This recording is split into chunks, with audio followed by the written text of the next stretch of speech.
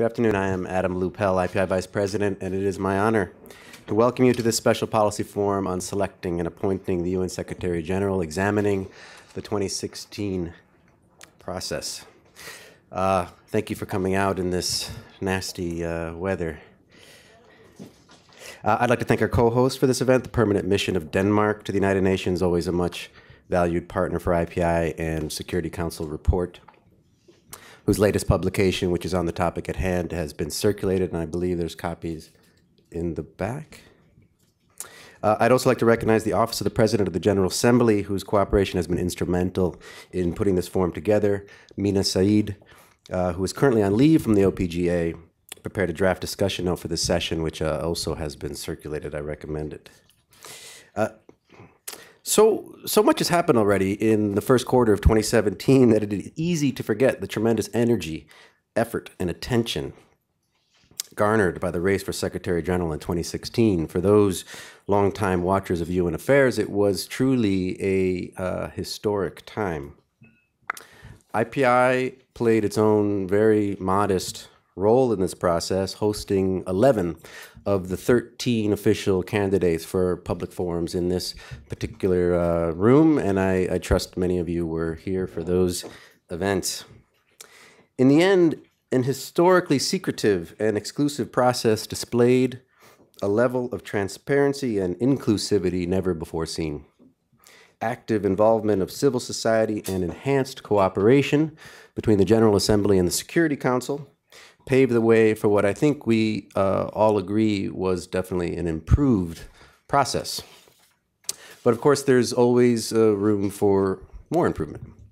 And so, ahead of next week's thematic debate on the selection and appointment of the Secretary General, we have an excellent panel uh, to reflect back on the lessons learned from the 2016 process and to look forward to the next process. Um, but before we move uh, to the panel, I have the pleasure of introducing Ambassador Peter Martin Lehman Nielsen, Deputy Permanent Representative and Chargé d'Affaires, Permanent Mission of Denmark to the United Nations, who will give our formal uh, welcoming remarks. Ambassador, the floor is yours.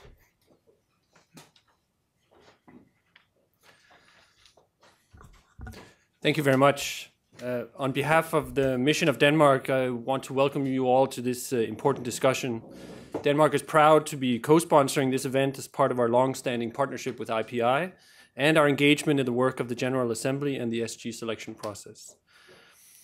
The process that led to the appointment of, the, of Secretary General Antonio Guterres was a historic change towards a more open, transparent, and democratic United Nations.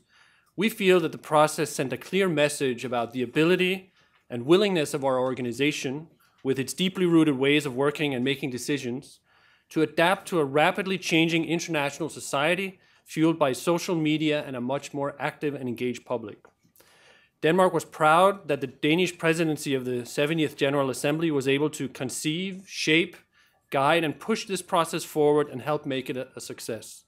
Mogens Lykketoft pulled together some of the most important actors to ensure wide support, including from the P5, and offered a carefully crafted platform for the process to unfold, in a manner where few would dispute that a new standard for SG selection has been set.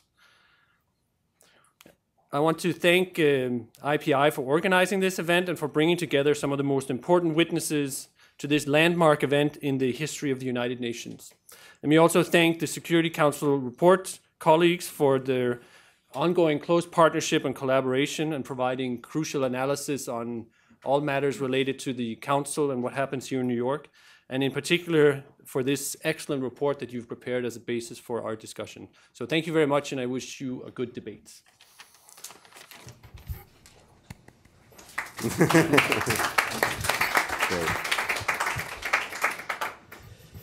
Uh, thank you, Ambassador, for those remarks. Uh, we have a very full agenda, and I want to be sure uh, to have plenty of time for Q&A, so we will move right to the panel.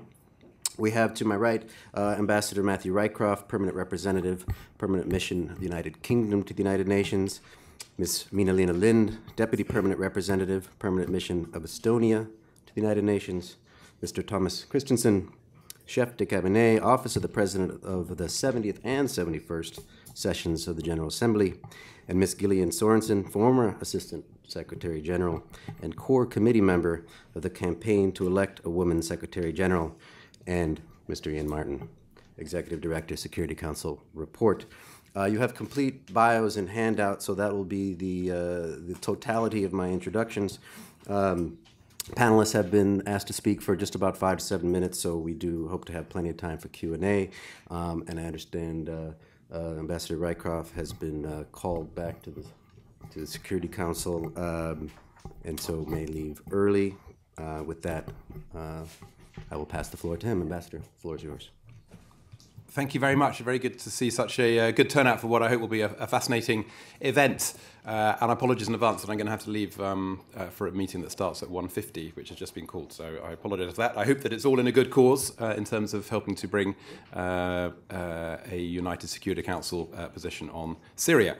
Um, I wanted to thank uh, IPI, whose uh, role in this improved process was, was far from the modest uh, uh description that you've just heard. I think it was uh, much more, uh, much bigger than that, and also Denmark for um, for the role they played as a as a member state and for and through and with the then PGA Mogens Lykketoft, who was absolutely instrumental. And you can read all about it in his book. Um, I, I, arrived here nearly two years ago, and I remember on my very first day, uh, there happened to be a debate in the General Assembly about the process for selecting the next Secretary General, and I took that opportunity to make a little announcement uh, of a British initiative in this area, which had three parts, and I wanted to use my time on this panel to to self-critically mark. Uh, you know, the uh, the effectiveness or not of the three bits of our initiative. So the three things were gender equality, predictability, uh, and transparency. Uh, the first, gender equality, uh, I launched with the phrase, it's high time for a woman uh, to lead uh, the United Nations. Uh, and we failed. We've ended up with another man. Um, it's not a complete failure, as I think by, by pushing along with uh, very many uh, parts of civil society and many other member states, by pushing uh, for a woman on merit, uh, and by making sure that over half of the candidates uh, to declare were women, seven out of 13, I think that we made progress. Uh, but clearly, uh, we did not reach the heights uh, which we had aimed for uh, when we made that announcement. So pretty low score uh, on that one. On the second one, on predictability of the timeline, I think we made a bit of progress. I think the joint letter from the President of the General Assembly and the President of the Security Council back in December did set out, with a bit more clarity than had previously been done, uh, what the process would be, what the different stages uh, would entail, what the timeline was. However, and this is a, a, theme I will come back to, getting that letter agreed was like getting blood out of a stone. And uh, some of my colleagues on the Security Council uh, were very, very robust defenders of the status quo, uh, right down to the last little bits of minutiae. So any progress in this area was incredibly hard fought. And for those of you who think that it was only modest and incremental and evolution rather than revolution, I would basically agree, uh, but it was not for lack of trying. And the little elements of progress that we got there, I think, do point the way uh, to, uh, to, to a better future next time round, which I will also come on to. And I'm going to reserve the, the, the highest marks for the third part of the, of the, the, the trilogy, uh, which was transparency. And with the benefit of hindsight, that turned out to be easily the most important part of uh, the initiative. Uh, but I would absolutely not have predicted that at the time.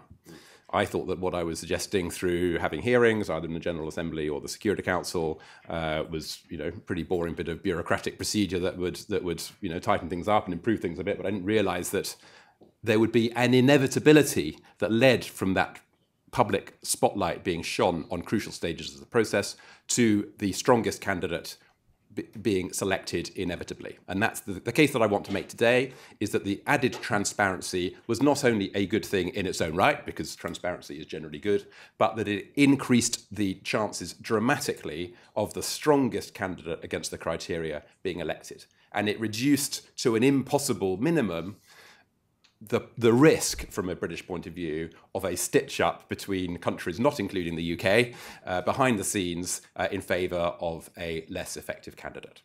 And particularly through the General Assembly hearings, but also all of the other noise that was being created around this by civil society and others, uh, it became apparent who the strongest candidate was, the one we eventually chose, but also more broadly than that, who the top two or three were.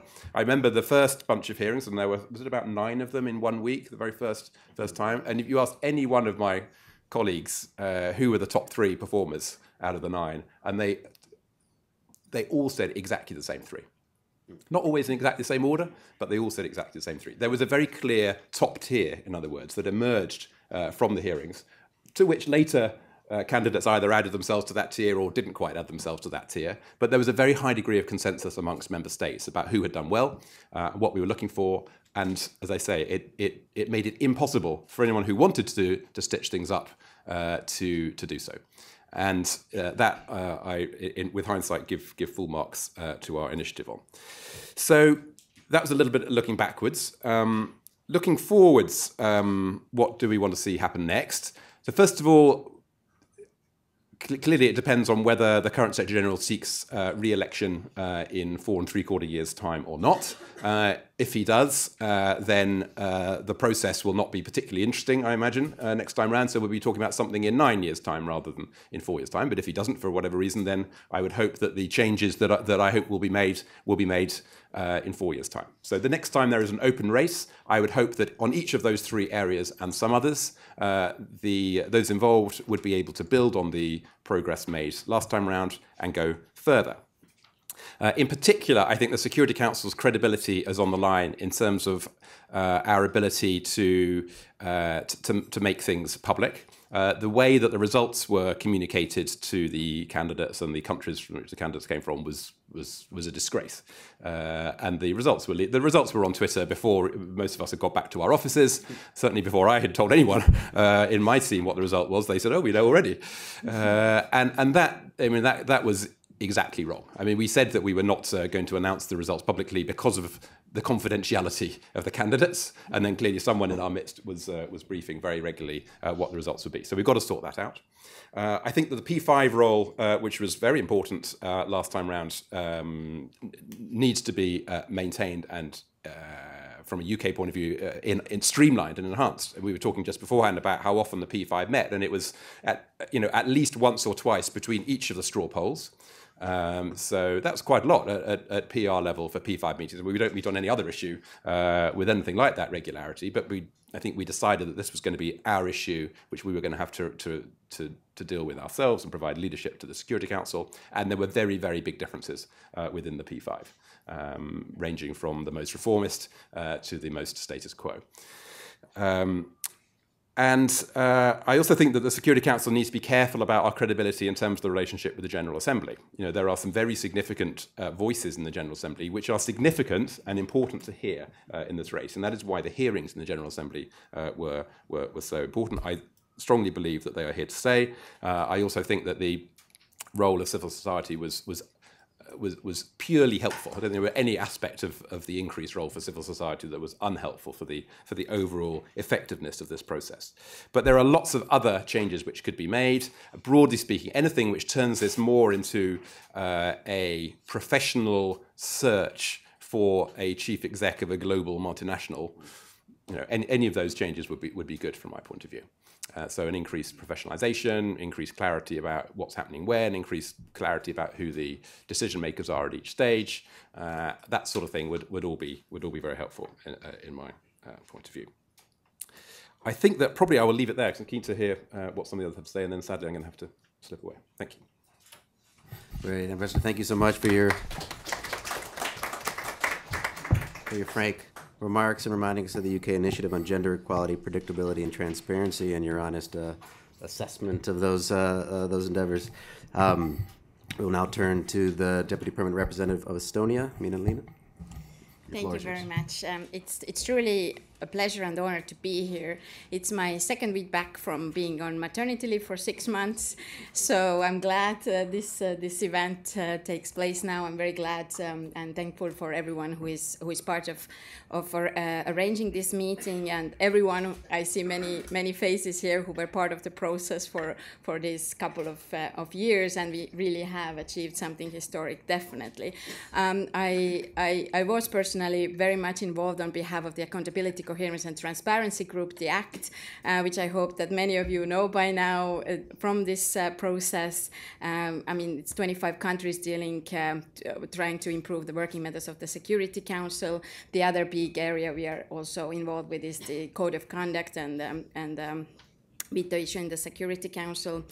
Um, uh, but uh, yes, this, this event about the Secretary General uh, and the process, which um, even when I was on my way to the hospital, I was trying to explain that it's too early. My baby was a month early. so I was trying to explain to the nurses that I still have to take care of some things at the UN. They said, no, no, no, this is the time. But, uh, but yeah, we were, we were almost in the, in the final stretch by then. Anyway, it was uh, 9th of October. Um, and when I think of where we started, it's been a long, long way because um, many of you know this uh, 11 slash 1, the resolution, the old resolution, which was giving us the guidance how to deal with it. And when I think where we where we have come on this way, it's, it's really incredible. I, I just rest, yesterday read the memos I had sent in the beginning of 2015 uh, home about the meetings we had with uh, with um, uh, P5 countries and, and some other countries about the proposals which ACT wanted to make uh, to make this whole process more transparent. And I must say the initial re uh, reaction of some some of these uh, colleagues and even some of the GA members uh, was was skeptical that anything would change. I think as it's been also greatly greatly um, uh, given the overview in the Security Council report, uh, uh, uh the, the, they made public a few days ago, the report, um, one can see that uh, the timing was right. The timing was right in that sense. We started way earlier than it has been usually the case before in these other uh, selection processes. So I think that was definitely an advantage, and also that everybody uh, was working together in the General Assembly. I mean, the great role of the BJ, uh, uh, the, the previous BJ, the civil society, the elders, uh, the media. And uh, when I read the reports yesterday, word by word. I relived it, so I think it's extremely well written. So I think it's it's very much so. And when I looked at the initial position paper, uh, ACT had proposed to, to come uh, to uh, to know the nominations, who are the candidates, that we would have a more clear process, that we would have hearings, um, and that we would also um, uh, yeah be able to um, to, to have some sort of uh, timeline, although it wasn't like uh, like exactly maybe as we had proposed. We almost achieved everything what was written in this. Um, this um, position paper, which I'm very, very glad about. The only problem, what was also mentioned before here was um, the relationship between the GA and the Security Council. We had also hoped for regular briefings from the Security Council to the General Assembly about uh, the results, but I must say, yes, uh, everything else um, uh, took place, so it was, it was great. Um, of course, the negotiations over the resolution 69-321, and I'm looking at the PR of Croatia, who had um, a very, very big uh, role there. Uh, they were tough negotiations, and I think at times it looked a little bit hopeless that whether we would um, come to a common understanding. But I think you know the the non-aligned movement, the ACT group, the others, we were we were very much involved in this, and and with the, with the really extremely great leadership uh, by the end of the summer of 2015, we, we, we really uh, came came to a great conclusion. Um, I remember throughout these negotiations also having to defend the 20 year old GA resolutions that why is it the role of the General Assembly to do certain things, which was also a little bit, um, I was thinking, why? why, why are we doing this? But, uh, but yes, so it was there. And um, we, we, besides the, the great um, hearings, which were also mentioned, Estonia, together with Costa Rica and Finland, we did also a couple of side events during these high level uh, weeks, 2015 and 2016. They were extremely well attended, as were the uh, hearings. So the interest was there growing, and, and uh, definitely uh, the, the whole open uh, attitude from the UN was definitely also very, very much. Um, um welcomed. And of course, the next big anticipation after the resolution was the letter to uh, to go out uh, from together from the joint letter from the PGA and the president of the Security Council. There seemed to be delays, delays, and in the end, I was really surprised that that it happened. So it was definitely another big step uh, forward that we knew that something is going to happen, and. Um, um, of course, the the the hearings when we also negotiated how it would be, and I'm sure uh, the chef de cabinet will uh, tell us more about how the PGA came to into this uh, format and so on, which I think was great. I mean, there are there is certainly room for some improvements in the future, which we learn from there. But also talking from the ACT perspective, it was a question that you know you have a group, you have to agree on the questions, you will ask the questions, you want to treat the candidates uh, equal. So how to do that uh, in a in a fair way? So I think I'm, I'm sure that um, we we can touch upon that uh, and and to see how to make it better in the future. And extremely nice touch were the civil society questions, which were also part of the hearing. So uh, great job. Um, uh, from the ACT perspective, we we did deal uh, mostly about the process. I mean, I would say entirely about the process and less about uh, political issues. And also, of course, we um, our main goal was that the best candidate would win. Um, and um, of course, there were always the regional consideration and the gender consideration, but uh, uh, we were uh, we were more for the for the great um, process we, which would give us the best secretary uh, general uh, which I think we have uh, greatly succeeded. So I'm, I'm very glad about that. And of course yes the ambassador of UK much better in talking of what happened in the Security Council for the future definitely to look at the how to communicate the straw polls because I think, as, as you had mentioned, also it was kind of ridiculous in the end. I remember also some people trying to um, fr- from the photos which came from the ballot papers to see whose hands it might be, whose fingers it might be. So I think it, it was really, and also how you write uh, different numbers in Europe versus elsewhere. So I, I think it, it, it could be it could be improved, uh, um, but I'm sure everybody knows that and um, and there are no opponents here about it. And then, of course, the next step was the appointment resolution, which ACT was also very much involved with, because we had a great process. We wanted to also to have the GA taking its full right till the very end and being able to appoint um, not only clap or rubber stamp, as it had been said uh, many times before. Um, and we had sent a letter in May of, of 2016 uh, to the PGA about it, and we had asked for a facilitation process. Of course, it was a difficult time. We didn't know about the candidates, how it would evolve, what happens in the Security Council, but we just didn't want to be surprised by the Security Council. We wanted to be ready with our text, and I think in the end it worked out well. I mean, things probably happened a little earlier than we had um, uh, thought, but I think for the next time we can also think about that. And I'm talking also about very general terms about next time, since we don't exactly know uh, when it would uh, would happen. And um, we, what we also dealt with in this. Um, revitalization negotiations uh, with the multiple candidates and the single term issue. There is also no common position about this in the ACT group, which you know we, we are we are very much involved with it. That shows that it's it's a broader um, problematic issue. I personally think that it it wouldn't be good to have um, multiple candidates presented to the GA for all these reasons we know about elections at the UN. But um, but uh, I think this is something, and of course the, the single term uh, for for us the senior appointments has been a very important issue, which we also um, made clear in all our communications. And uh, of course, you know the, the search for candidates, what was also what we what, what we talked about throughout the process. I mean, process is one thing, and also the candidates. So should there be only governments presenting, or should it be open for for um, for other other NGOs and other others to uh, to nominate? So yes, this was um, this was the the looking back and looking forward, and I'm looking forward to this exchange of views. Thank you very much. Great, thank you so much. Uh, thank you for the view, uh, especially the the role of the ACT group, which I think everyone uh, uh recognizes as uh, have played a really important role, and I think it's uh, mentioned in the Security Council report document. so thank you very much for all your contributions. we now will hear from Thomas Christensen. The floor is yours. Thank you, and and thank you very much to IPI and the Mission of Denmark for for hosting this and facilitating this conversation. I, I think it's a, extremely important uh, building on the report from Security Council report and and Mina's paper. And Mina, if you're listening out there, thank you so much, and uh, wish you were here. Good luck uh, next week.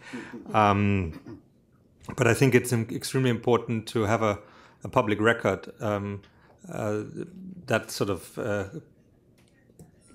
keeps uh, collective memory for years to come. Ambassador Rycroft said uh, four or nine years from now, but but obviously um, in this process, uh, a, a, lot uh, happened that was created through the um, will, will and and uh, steadfastness of President Lykketoft, uh, which is not captured in GA resolutions and in in formal decisions by the UN. Um, and some of it, uh, of course, can be uh, can be found in, in, in, in, letters and and various uh, places, but a lot of it has also to do with the political atmosphere around around this process, uh, which civil society and the general global public helped create. So in a way, there, there are many there are many different elements that go into creating the right perfect storm that allows a process like this to to take place and to succeed. And in a way, uh, those of you who might um, have a role in that in four or nine years uh, uh, would do well to think a little bit about uh, your strategy for that because uh, if it's in four years, you basically have to start thinking about that tomorrow. Um, and um, just a few reflections from, from my side, and I'm sure Mogens would have loved to be here himself. But but it's clear that um, the, the the office that is the least defined in the UN architecture is the office of the PGA. And uh, coming into the office and preparing for it with Mogens, um, it, it, was quite surprising to us that an office that has that is in the charter, um, that has existed uh, now in its 71st iteration, is has so little governance and so little um, so little uh, uh, written about it. Uh, there's, there's, there are there are volumes, there are libraries about the Secretary General, there's hardly anything about the president. And, um, and, and similarly, the office that the president has is a temporary office that is um, traditionally turned over every year, all the staff. And it's up to the incoming PGA to, um, to nominate uh, the few staff that he can on the uh, UN's payroll and then basically to uh, beg, borrow, and steal uh, the rest of his office that is not that doesn't exist. And Mina was on loan to us from the Norwegian Foreign Service. and, and that means that the office of the PGA um, does not, by nature, have continuity or, or knowledge of what has happened in the past. Um, Mina and I, uh, along with a few other colleagues, were asked by President Thomson to stay on from Lykketoft. Uh, and, and I'm sure if you had Thomson here, he would say that one of the reasons was to, uh, because he had heard loud and clear from the membership that they wished continuity in the handling of the Secretary General selection process. So it was important to have a few people around who knew what had happened in the 70th session. But that's a decision taken by Thomson. It's not a decision that comes from the membership or that comes from the way this office is set up. Um, uh, the PGA is a one year term, the SG is a five year term. The SG has the whole secretariat of the UN to draw upon. As I said, the PGA has, has, has very little. Um, and and the PGA is a regional rotation, whereas the SG uh, obviously is not. Now, the PGA's role has changed um, over the last 10 years or so, uh, partly also due to, I think, but that's something you could have a whole seminar on, uh, changes in geopolitics where the number of countries that are knocking on Matthew's door to become members of, of the council in a more or less permanent form um, the fact that they don't have that access uh, means that uh, they are pushing for a stronger role for the GA to balance the Security Council. and at least in in the many meetings that that Mogens had uh, after having taken office, uh, it, it, was very clear that uh, many of the big players that are not um, permanent members of the council uh, were were urging him to play a um, to play a stronger role, to be uh, forceful in insisting, for example, on getting the letter out uh, sooner rather than later. Uh, we heard uh, whispers and rumors that some P5 were thinking that uh, early 2016 was soon enough for that letter. Um, but but not only was Mogens himself very focused on getting the letter out fast, but uh, a vast part of the GA membership were encouraging him to be to be strong and and and do so, which of course increased his uh, his zeal in doing so. Um, when preparing Mogens for the office, we were also looking into what has been written about about the Secretary General, and I I studied. Uh, and, and at that time I was working for Secretary General Ban Ki-moon, but I, I studied quite detailed the Secretary or General uh, book by Simon Chesterman that is more than 10 years old. And, and in, in one of the articles in here, the author writes about how it has been possible for UN Secretary Generals to carve out an autonomous political role. And in another chapter, um, uh, Dag Hammarskjöld is, is quoted for saying that um, the Secretary General has the right of initiative provided that he observes the proper forms and chooses his approaches with tact. Um, and also that um, as Secretary General, you have to fashion yourself as a fit instrument of the Security Council's wishes, even though the Council might not yet know its own wishes. And you have to have acute sense of the moment. And I think those points about the autonomous political space, about um, knowing what the body you represent wishes, even if it hasn't articulated it, and having that sense of the moment, I think those points are actually valid today also for the PGA. The, the PGA has over the last 10 years increasingly um, the office and the PGA have, have created, been asked to, um, and if you look at GA resolutions that give tasks to the PGA, they are they are increasing in numbers every year and in de in detail and in complexity. So there's a clear wish for the from the GA general membership for the PGA to have that kind of role. And in addition, um, they also wish him to act on their behalf without having to spell out what he needs to do to create that autonomy of action. Why? Because they also rely on him having that sense of the moment. And in a way, the mandate 69321 that, that Vladimir and, and, and his colleague from Namibia, Wilfred, um, uh, so, so uh, ably shepherd through to decision uh, on the last day of the 69th session uh, exactly requires that from the PGA. Because the only mandate it really has in there is to do the joint letter and to organize the hearings, nothing else. And if you even look at the letter, it only has uh, uh, it has the elements that Matthew was talking about about the timeline uh, a little and and and and uh, the request for women candidates and for um, and for uh, some there's a reference to to regional uh, to regions.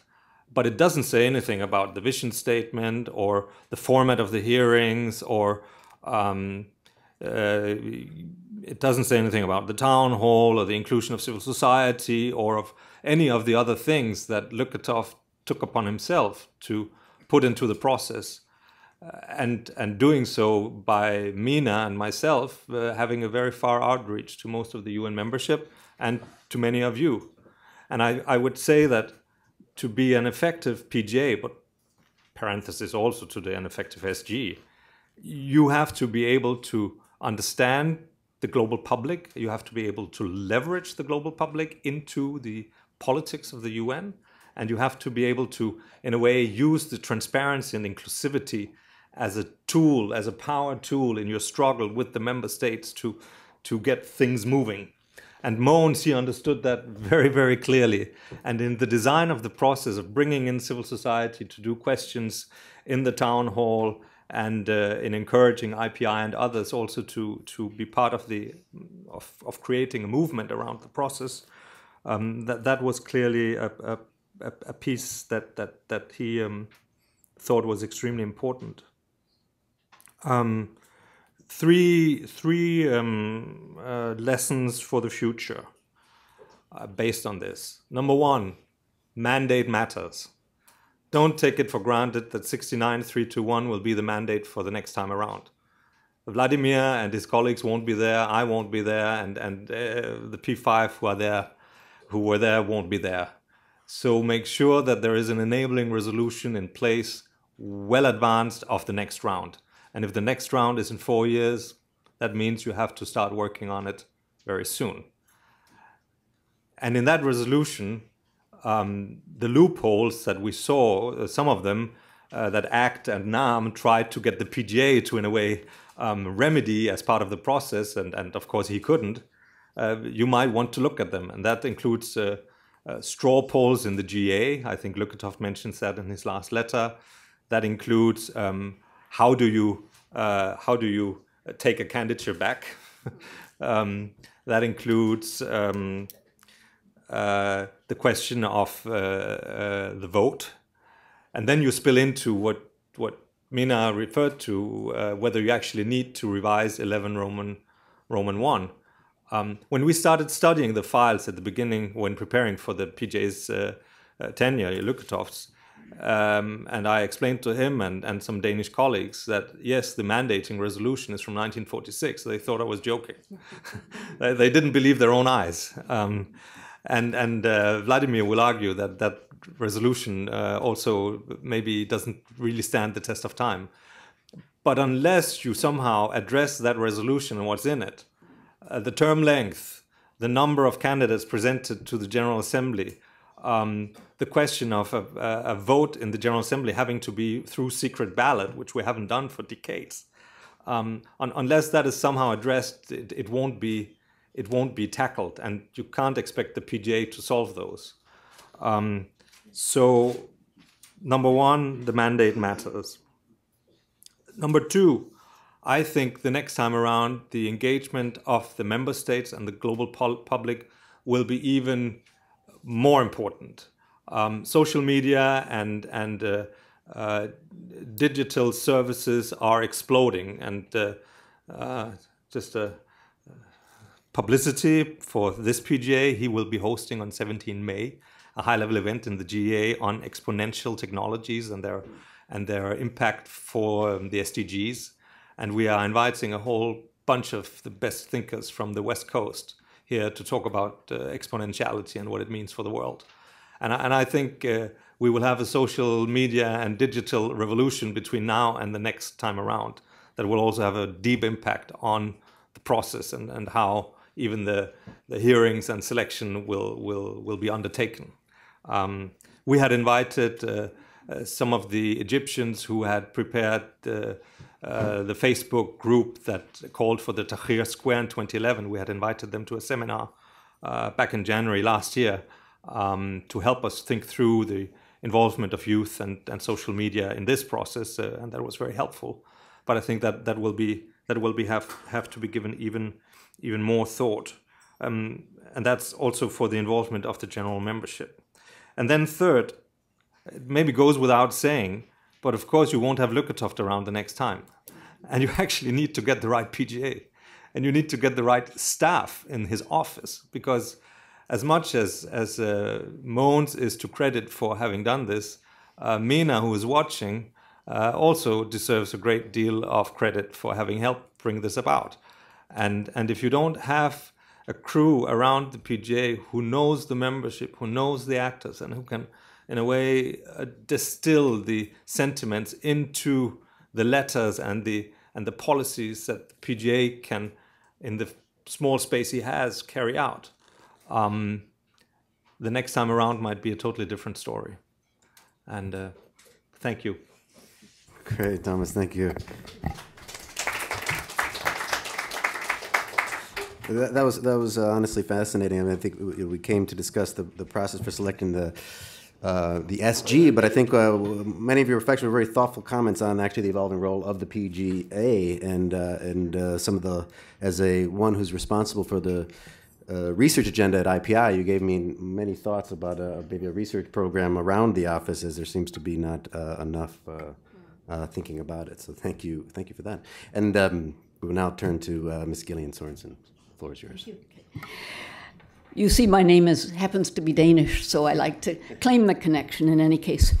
Um, I've worked with the UN for a very long time. I can even remember the last effort by Kurt Waldheim to seek a third term as Secretary General. So I have witnessed again and again and again the selection of the next Secretary General. But I can tell you, there wasn't much to see because, as we all know, it was done inside the club, inside the Security Council, primarily by the P5.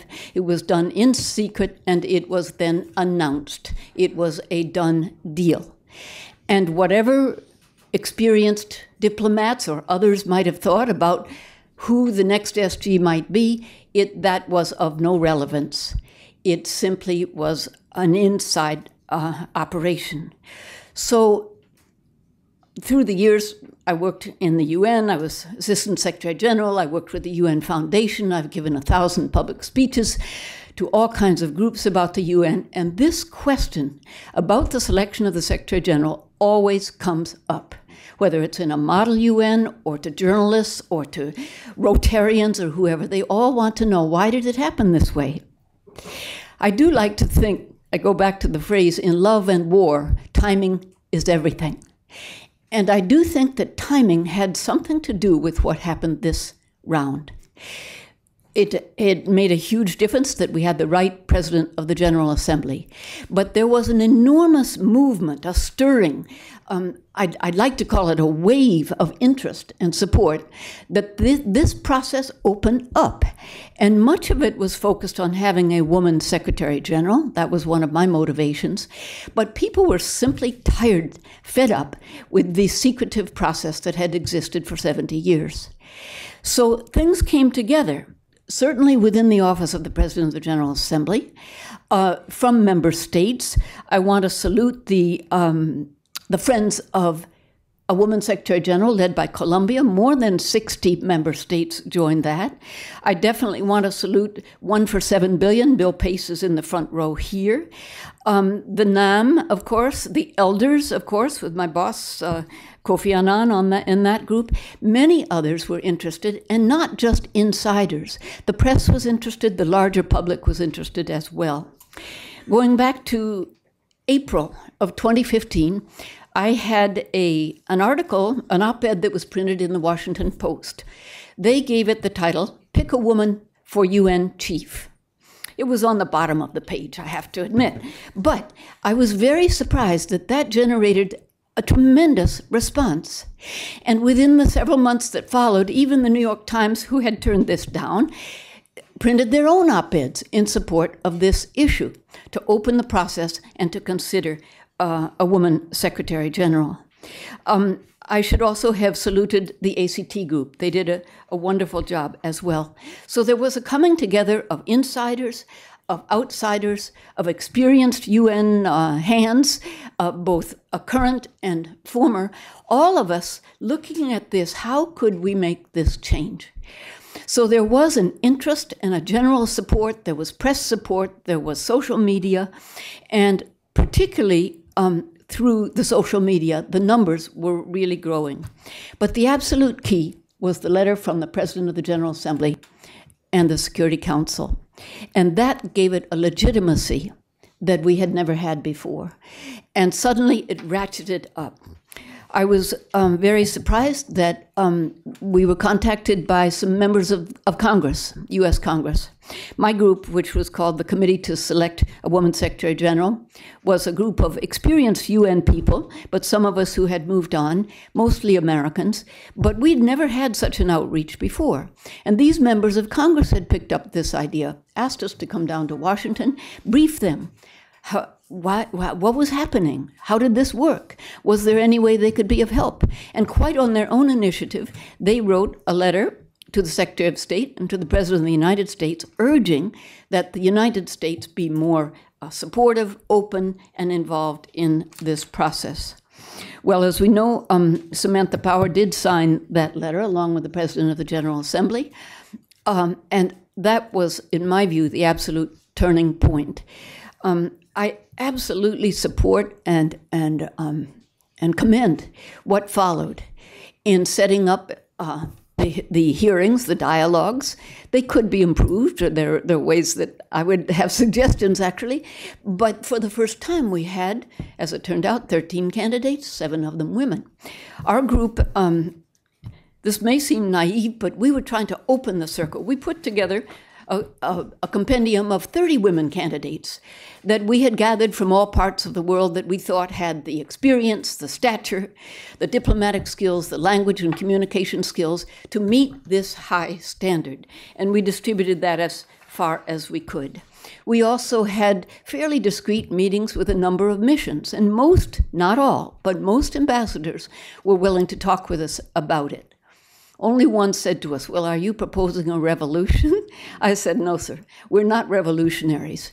We know how the UN works. We know where the decision will ultimately we be taking.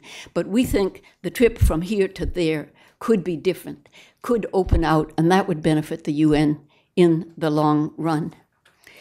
Well, here we are. And we have, I, I won't repeat the process, we all know it, but we did end up not with a woman, I regret to say, but we did end up with a superior candidate.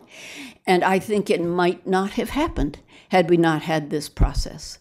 I do believe that it has changed forever, that it will be impossible for the UN to go back to the old secretive way of deciding. That it is, as has been said before, extremely important that we get this in writing, that the, the, the, the um, process we've moved through and the lessons we have learned are on paper. So several years from now, whether it's at a five year point or at a 10 year point, they can look back and see uh, how it worked, what, what went well, what didn't go quite as well, and, and, and put that uh, in place for the future. So, um, in my view, and through my own UN experience, it is actually the best example I've ever seen of all of us coming together who care about the UN diplomats, secretariat officials, NGOs, academics, press, and the larger uh, society to make this happen. And I think um, the UN is better for it. And I look forward to uh, seeing how this process works five and 10 years down the road. Thank you.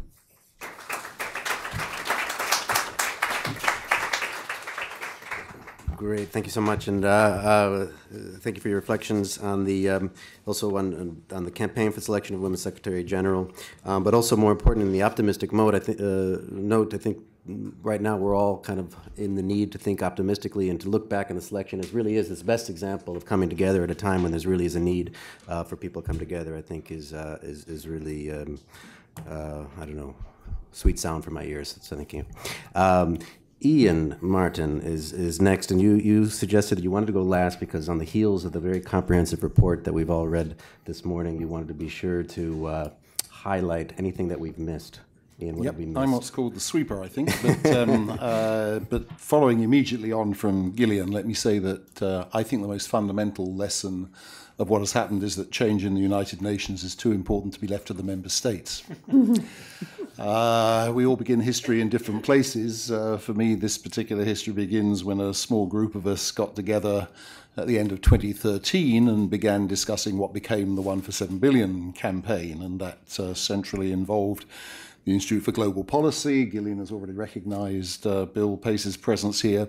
The United Nations Association of the UK, uh, a central pillar. You invited Natalie Samarasinghe, but she couldn't be here. But if Matthew was still here, I think he would testify to how effectively they lobbied the UK Parliament and government before he arrived to express a, a UK position uh, in the, the General Assembly and then the Council.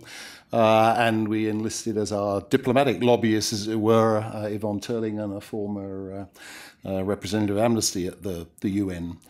But I remember very well how, in the first discussions we had in 2014, even with ACT members, even with the elders, even those who strongly agreed with the need for change had extremely low expectations about the prospects of bringing it about.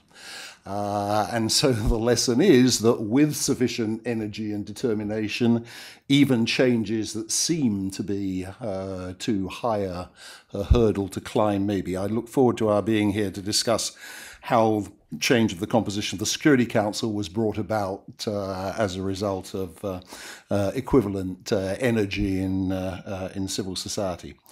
Um, we've come a long way, um, and it is important, as has been said, to consolidate and review what has happened uh, and to be clear on what still remains to, to be discussed, because there will indeed be a huge changeover of personnel before this uh, process is discussed again. Um, Security Council report uh, collaborated with the Office of the, the PGA in a uh, a retreat meeting to review the, the, the process and the lessons, uh, and that fed into the, the report that uh, uh we've just uh, released. Um, I want to recognize my colleague Shamala Kandiah, who's the, the author of that report, as indeed of uh, two previous research reports and, and all the up to date reporting through What's in Blue that you received during the, uh, the process uh, last year. But in preparing this report, we interviewed some 27 member states, uh, mostly at the level of permanent representative, uh, members of the council in 2016 who'd participated in the process, uh, the permanent representatives of the candidate countries who have important things to, to say about uh, uh, how it operated, uh, and of course key actors in the General Assembly uh, uh, of ACT, of the non-aligned movement, and and so on. and we set out issues the, for the, for the future. Um, all I'm going to do, I think, uh, before we go into questions, is is just run through the issues almost to check them off because many of them already been opened up from the platform, and I don't want to repeat what's all already uh, been said. Very importantly, I think, is to discuss how this process does or doesn't apply to a reappointment process of a Secretary General. Um, on the one hand, there can be no way back to uh, a process that is not transparent. On the other hand, in my view, this process does not work well for a reappointment uh, process. Um, now, that's easy to reconcile for those of us who also think that a single term for the Secretary General uh, would be better uh, than uh, a potential two term process, which has separate arguments, of course. Um, but I think those issues need to be uh, very much discussed. And of course, they are urgent to discuss, as has been made, because they're the most immediate issues that will that will face uh, the, the, the, process. Um, secondly, the the timetable. Thirdly, really, the timetable. Um, uh, one of the most argued things uh, how to ensure that uh, uh, candidates are considered together. There was resistance to a firm deadline. Um, uh, and yet we actually saw that a late entrance is in fact at a considerable disadvantage. So uh, it may be much easier next time to reach agreement that candidates should in general be nominated and considered together, uh, even if uh, there may be reluctance not to leave open the possibility of, of, of bringing in a, a, late candidate, but then through the, the, the same process. Uh, but at the same time, how to ensure that the process is completed in sufficient time, um, all the uncertainties as to how quickly consensus may be achieved, but is completed so the new Secretary General has an adequate period of, of transition, which I think is, is crucial. And, and having watched this transition, I would say we've been talking about the very minimum period for a Secretary General to prepare himself uh, effectively.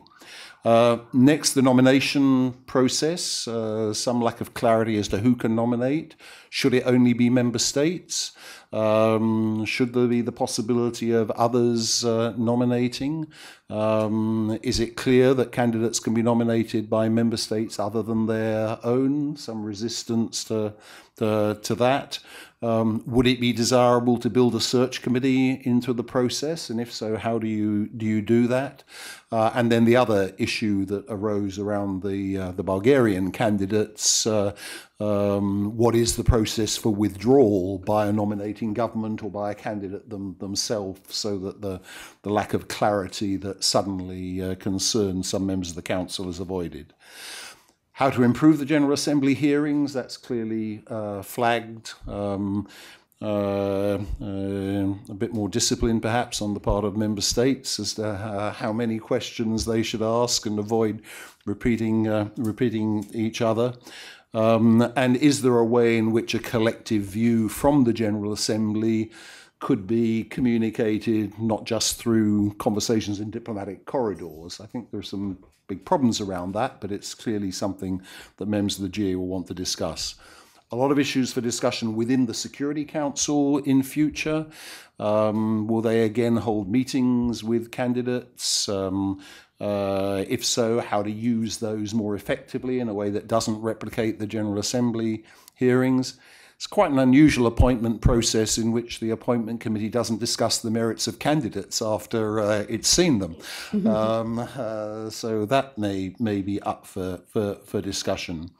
Um, are straw polls the best way rather than formal private votes? There's a very thoughtful paper which we reference in our paper from the permanent representative of Japan, uh, in which he argues that votes in the council should be formal votes, uh, the results of which would then be on record through a formal communique uh, rather than the, the straw poll process. And within that, how how to recognise or not the potential veto uh, through the use of colour coded uh, ballots. Um, I, it's a no-brainer. Everybody is going to say that the result should be communicated in some way, so I won't reiterate that point how to narrow the field of candidates, especially if this process encourages even larger fields of candidates in, in, in future. Um, uh, should that just be left a withdrawal of candidates, or should there be some point at which, when candidates have not displayed sufficient support, they're no longer considered? Um, uh, multiple candidates has been, been mentioned. I won't add to that. But one final issue that hasn't been mentioned should there be some code of conduct for candidates, for nominating governments? It's a particularly tricky issue uh, when candidates include senior serving United Nations officials, uh, even more perhaps if it includes a serving Secretary General uh, within the present process. Um, uh, and so I think the more we've begun to discuss together the lessons learned, the more clear it is that uh, uh, however major the advances were and however much you want to consolidate those, there are still issues that it's important to to uh, to, to, consider uh, well ahead of the next operation of the process. Thank you. Great. Great, and thank, thank you. And listening to you, I think we all we all agreed that it's been an improved process, but I think you make clear that there are still uh, a lot of questions uh, yet to be resolved uh, for next time. So thank you for that. I'm uh, conscious of time. We've got about uh, half an hour for, for Q and A, so we'll move uh, to the the floor.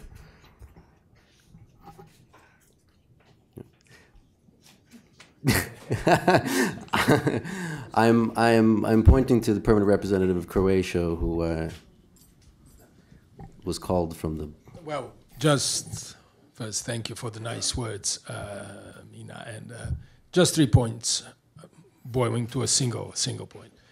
The whole process, the the epicenter of the process was Resolution 69321, as we know it. And regarding these resolutions, I think it demonstrates how strong potential of General Assembly for reform is if three things converge at the same time. The first one is that resolution and reform process is within the boundaries of the Charter. The reason why this was so successful is that you don't need to change the Charter. There are some other reform processes that require change of the Charter, like Security Council reform.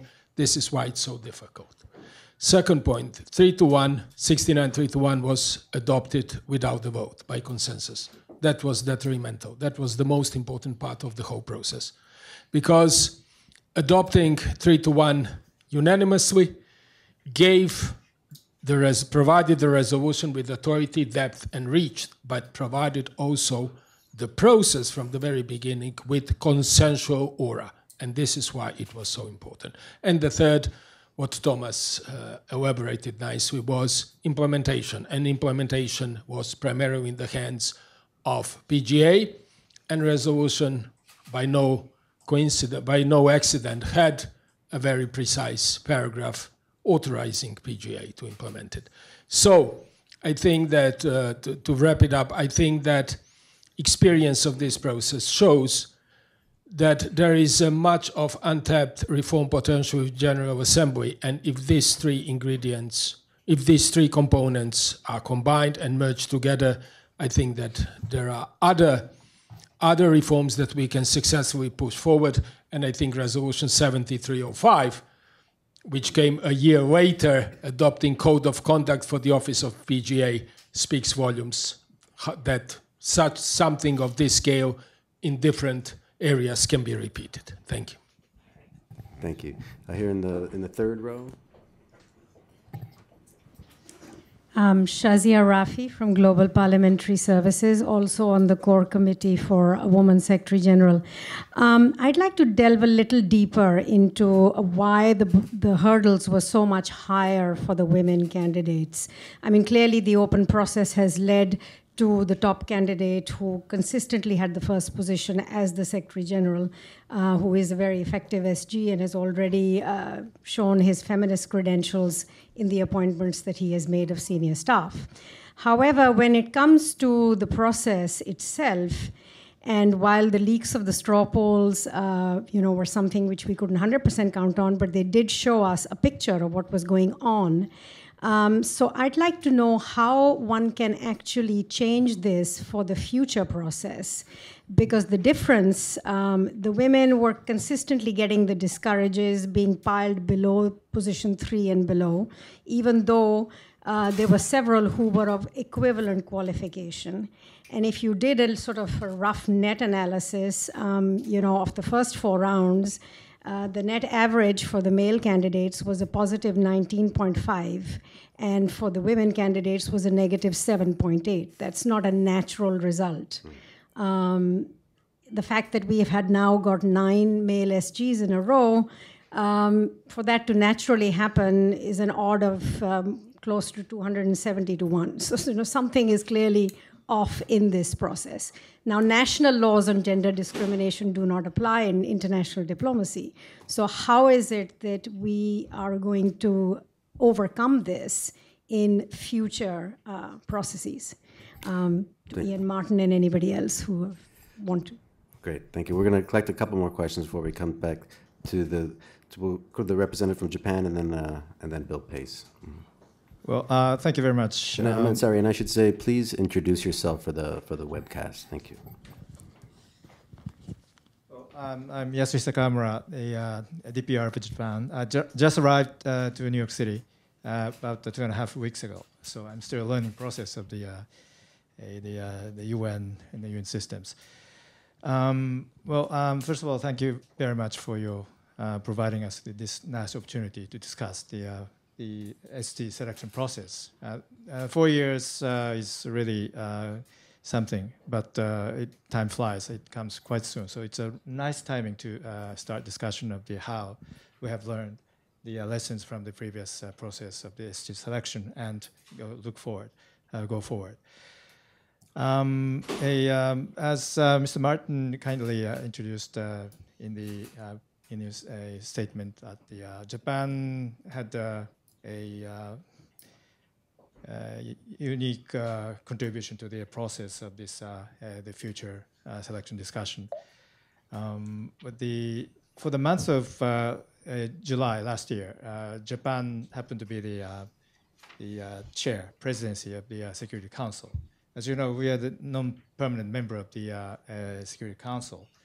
but last year and this year, I will be the member, and Okay, I'm a member, and um, the especially uh, the uh, last July, uh, last year, we had a very good experiences uh, facing the uh, expectation and hope for the uh, select Secretary General's selection process, and at the same time be a member of the non-permanent of the Security Council. we also have a, a, wide view and expectation from the rest of the group. So um, based upon the uh, unique experiences of the last year, um, PR, uh, a Ambassador Bessho uh, recently produced a, a paper uh, on the selection process of the Secretary General in his personal capacity. And uh, taking advantage of today's opportunity, uh, we have distributed sub, the papers for your perusal. Um, so um, I'd like to uh, just touch upon the uh, basic philosophy underlying the, the paper, uh, the uh, the Bessho's uh, per, per, uh, personal contributions. Well, um, we like to echo the most of the previous speakers on the importance of the um, the the element for the se Secretary General process. Well, that is the transparency.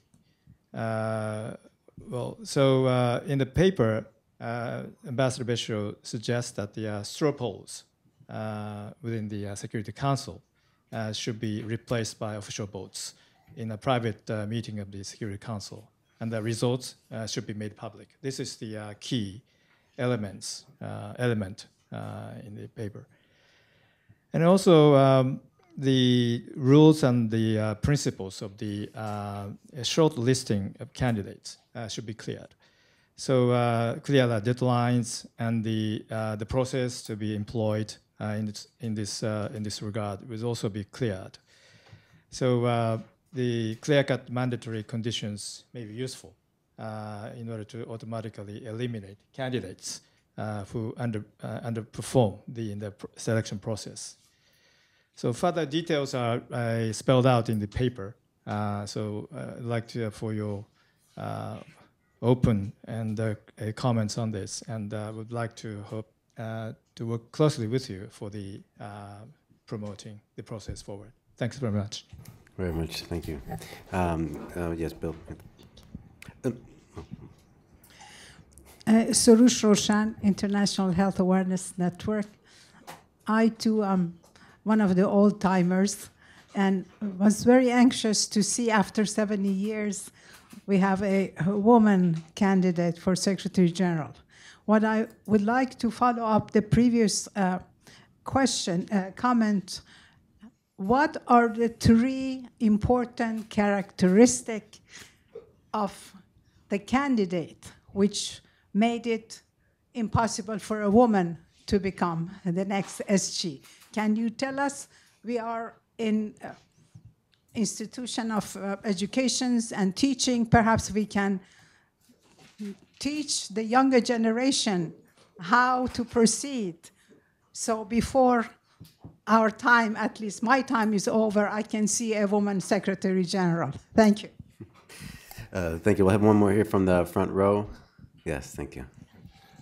Uh, Bill Pace with uh, WFM and Institute for Global Policy and one of the members of the One for Seven Billion campaign. Um, a couple of comments and a couple of questions. One comment is that to remind people that this was a process that succeeded in the General Assembly. The General Assembly is bashed so much it in this uh, environment that it's important to, as an NGO, for us to remind people that most of the best achievements at the UN come through the General Assembly, and only this could have occurred through through the General Assembly. And the next time when this has to happen again will be during the 75th anniversary of the Charter in 2020, because uh, if the election or appointment process is going to occur in 2021, whether it's a renewal of the of, of the of the uh, um, current Secretary General or another appointment of another Secretary General, it has to start in 2020. So just to make that note. Um, I think two or three have mentioned, and my organization began with this project back in 1995 and 1996. That's how long, that's when the Dag Hammarskjöld Ford first raised this issue so effectively. And our efforts in 2006, we started way too late. So we, as Ian Martin mentioned, we were able to get started much earlier this time. That made all of the difference. And that's one of the most important lessons learned going forward uh, on, on this. I agree that applying 69-321 to the renewal of a serving Secretary General's interest in a second term is something that is a hugely difficult issue that needs to be discussed at the, in the most high level, effective ways possible.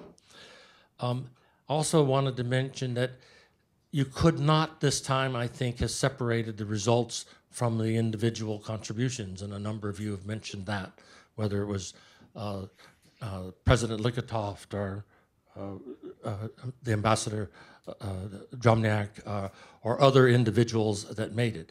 But for the success long term, this has to be in spite of individuals. So how do we get to that uh, in, in, in, the, in the future? So the two questions for me were, has this process this year now settled the issue of some kind of strict regional rotation? Will merit now trump uh, regional political pressures in selecting the Secretary General in your in your views? And secondly, uh, is the vetting process satisfactory? because uh, uh, Gillian reminds me of the of uh, Waldheim's attempt for a third term, and a few years after he failed to get his third term, it was revealed that the, certainly the uh, certain members of the Security Council knew of his war record, uh, and it was never outed. And so, is the vetting process satisfactory now? Because there's some in our preparation of our report on, on what happened this last year that indicate that that was one of the issues that was in the background uh, this year in the in the appointment process. Thank you. Great, thank you. I think we have a, a number of good questions in the table. I'd like to take, uh, I see my social media team with their hand up, so I'd like to take one more question before we come back to the panel uh, from, uh, from social that came in through social media. Hillary, please. Yeah, appropriate for this uh, conversation. We have a question from Twitter. Um, this comes from the Free UN Coalition for Access. And um, Ambassador Rycroft mentioned that he thought Antonio Guterres will get a second term if he wants one. And the question is, what if uh, the veto is used to block the second term, as it was with Boutros Boutros Ghali? Thank you. Okay, follows right on the discussion. Okay, so we'll uh, we'll come back to um, the panel, uh, and I think maybe we'll just start uh, go in order here and just start with with Gillian, if that's okay. We've got a couple questions about the Women Secretary General. Yeah. please uh, respond to any question that you feel. All right. There's so many questions yeah. Um, uh, on, on why didn't women rise to the top this time? Um, if you studied them carefully, there were some highly qualified ones. I do believe, I'm speaking personally now, that some of those who came from countries that were about as big as Long Island um, really didn't have the stature or the broad enough experience to lead the UN. Um, but at the bottom of it, I think it's attitude, it's sexism, it's misogyny. It's that people simply cannot envision a female face at the head of this organization. Well, look at Angela Merkel, look at some others. I mean, it's not a male or female issue. What we need are the qualities of intelligence, of deep political and diplomatic experience, of strong managerial skills, of proven, and I underscore proven communication skills to lead this organization. That's a, a, a key. Um, and the ability to have the kind of moral stature that, that leads the UN as it should be led. There's a phrase that I like, it's called executive presence. So, that kind of presence that inspires people, that captures their attention, that gives them confidence, Um, but of course, that's not just superficial, that has to come from within. Um, sexism lives, we know that. Um, but in the next five years or 10 years, we'll have a chance to scan the territory and I hope bring forward uh, one or two or three or four truly outstanding women candidates, and maybe it'll happen that time. I'll just comment on one other issue that um, got passed over lightly, and, and that's the regional rotation.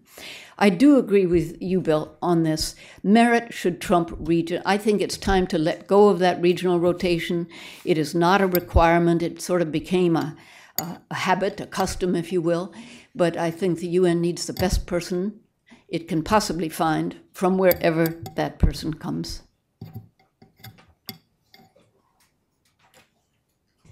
Thank you very much for all the interesting questions. And maybe just to um, emphasize once again, yes, what was said here, the, the joint, um, the joining of forces, what, what became the, uh, the reci- recipe for success, definitely, and the personalities who were involved, also definitely. But I think it will be also extremely difficult to go back to the old times and business as usual, uh, looking from the Security Council um, P5 point of view. So um, I think we, we have achieved, and of course we have to maintain it, and we, we can't be late like we have been in the future, like we were not this time.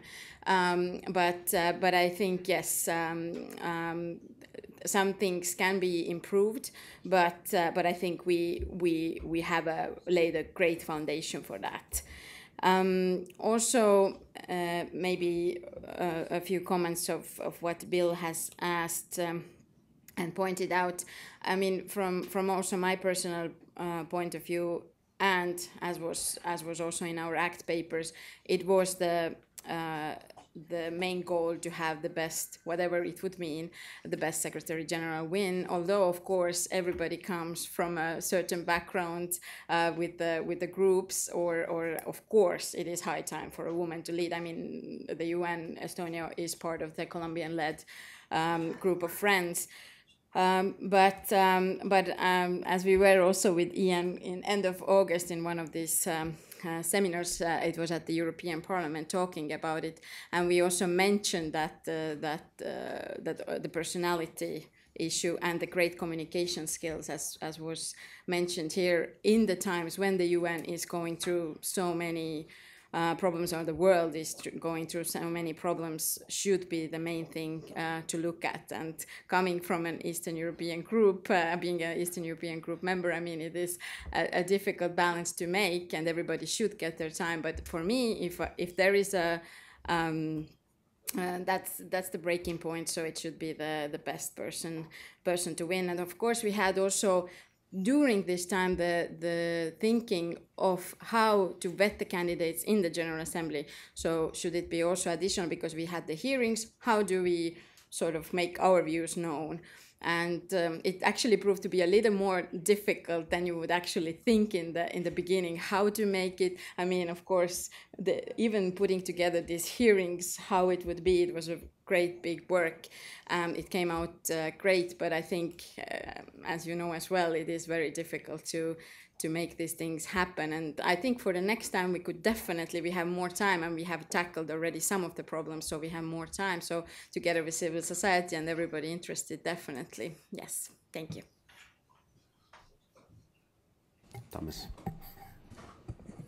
Um, good questions, but I'm not sure I'm I'm really qualified to answer any of them. Um, I, I, I would not dare venture into speculation about why uh, why Guterres won over these women. I I, I, I mean, uh, Mogens said from the outset that he thought the question of the timeline was overrated, and that if if a strong candidate showed early in the race, uh, that person would be the one to beat, and that the transparency and inclusivity of the process would be the defining moment.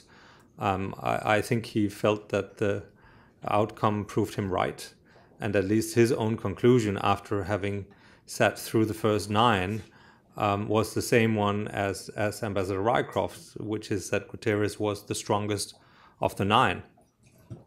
Um, uh, and that's just a fact. I think uh, having having sat behind Mogens and the nine speakers, um, Guterres was the only one of the nine who had no speaking notes.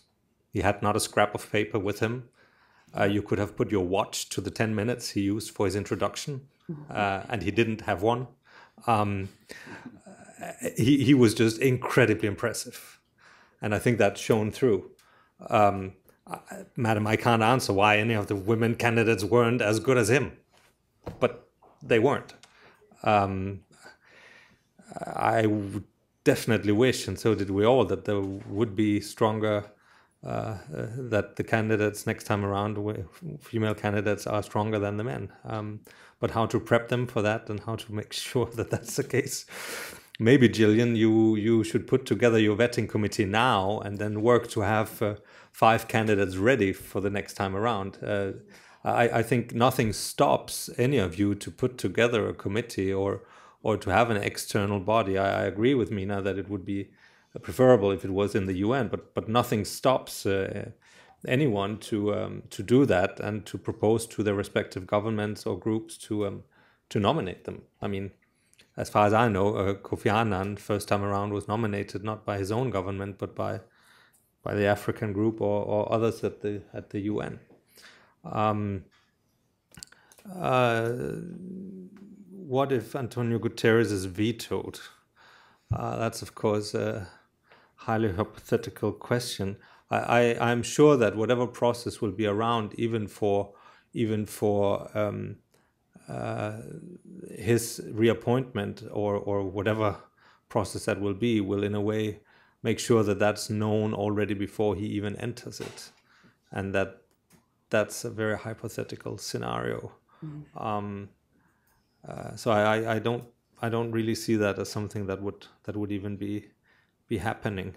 And and finally, um, uh, someone mentioned the letter. I think it was you, Gillian, and that it uh, was groundbreaking and created legitimacy. I, I fully agree, and I think having now Ambassador Rycroft has gone, but but having having uh, maybe helped inspire Mogens to convene the two ambassadors into his office, uh, Rycroft and and Churkin, uh, God bless his soul. Um, I, I, think none of the two ambassadors actually realized that the main point for Mogens in that meeting was not the fine details of how to formulate the this or that paragraph, and there were five brackets in the text. No, it was to get the letter in itself because the letter would open the door for all the things that were not in the letter, the ones I explained before.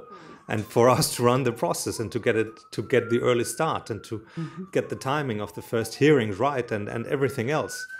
So so the mere fact of getting the letter out before Christmas that year was our main task in that meeting.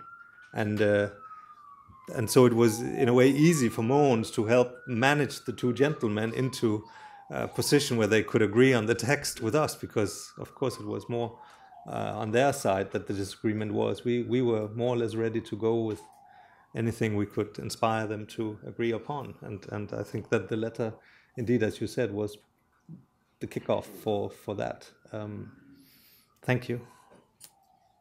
Um, I wish I had something useful to add in answer to uh, to Shazia and on the three characteristics, but but it, it's more difficult than just to say we all recognise why Guterres was such a strong candidate. Because, granted that, it's still very hard to explain the other the other placements, let alone how they changed in the course of the uh, the, the straw polls. But there is one point that I think is worth making, and that's the composition of the Security Council we got up to what three women uh, out of 15 members permanent represented on the security council at one point we're now down to one um, uh, you know, so the problem is that that that, that, that, you know the sort of the, the institutionalized entrenchment uh, of gender domination runs through the member states, runs through the runs through the system. So uh, um, you know, I might, I might want to pay a little attention as well to lobbying for uh, for member states to ensure that their senior diplomatic representatives are, uh, uh, are more balanced in terms of, uh, of, of, gender.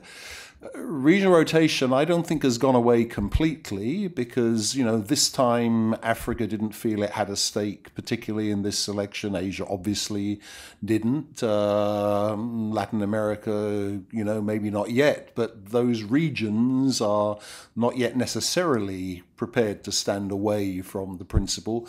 But I do think it's important to say that, that you know, one cannot afford to have a selection that is made only 10 or 7 or 5 years to depend upon the best candidate coming from a particular region. One, one really can't. The system can't afford, uh, afford that. Vetting in the Waldheim sense, it seems to me, is now taken care of by transparency in the world of social media. I mean, I can't imagine that, uh, that a skeleton, a, a serious skeleton in the cupboard of a, of a Secretary General candidate is going to survive the, the scrutiny that, uh, uh, that, that, that, now exists. And just one point on, on the veto, not quite in the way it was, was asked.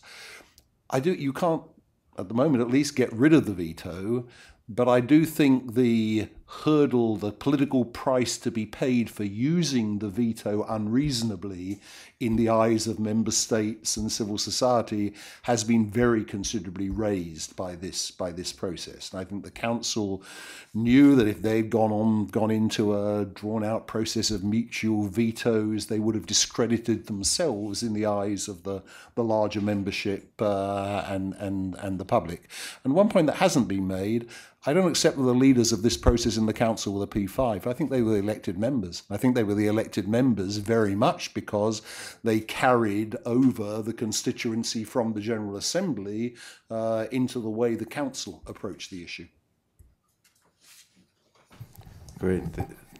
Thank you so much. That's uh, that's a not insignificant point. That's uh, very important. Thank you for that. I don't think we don't have time for another round of questions. Um, but I would, if uh, if anyone on the panel before I close has a um, not in response to a question, but a final word. Uh, no. So let me let me just say I just want to actually before before we close just go back to uh, three three things that uh, that Thomas pointed out as lessons for the future that I think kind of came up again and again, and that is that the mandate matters um, engagement with member states and, and, global civil society, the global public, is really important. This this notion of timing that you pointed out that there really was this global wave of interest, and that's important for the next time. The need for a right. Um, not just PGA, but office of the President of the General Assembly is really important. But then also uh, the, the, the key point that that while in 2016 we can't seem to separate the results from the individual contributions moving forward, it needs to be made more systematic um, in order to have uh, success and to try to, um, as um, Ambassador uh, uh, termed it, professionalizing the, the search as, as, as best as we can. And so uh, we look to the future uh, for that, and we look forward to next week's thematic debate for further insight. So uh, thank you all for coming.